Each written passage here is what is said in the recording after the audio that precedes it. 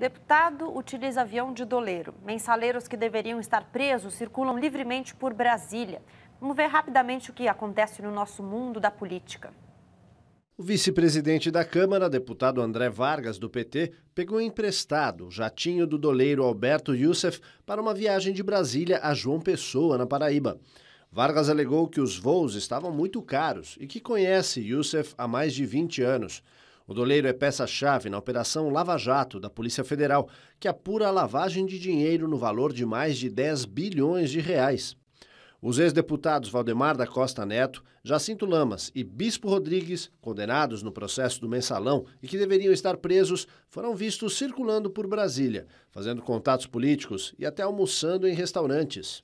A Justiça da Suíça decidiu enviar ao Brasil os documentos que comprovam a existência de uma conta bancária no país atribuída a Robson Marinho, conselheiro do Tribunal de Contas de São Paulo. Ele é acusado de receber suborno da companhia francesa Alstom para aprovar contratos de serviços com o governo de São Paulo. Robson nega que tenha conta na Suíça. Olha, o presidente da CPTM, a Companhia Paulista de Trens Metropolitanos, Mário Bandeira, decidiu abrir espontaneamente o sigilo bancário e fiscal dele e da mulher.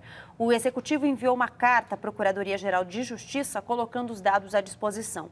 Bandeira teve o nome citado em uma nota técnica do CAD, o Conselho Administrativo de Defesa Econômica, um órgão do governo federal, na investigação sobre o cartel dos trens que envolve diversas empresas multinacionais, entre as quais a Siemens e a Alstom.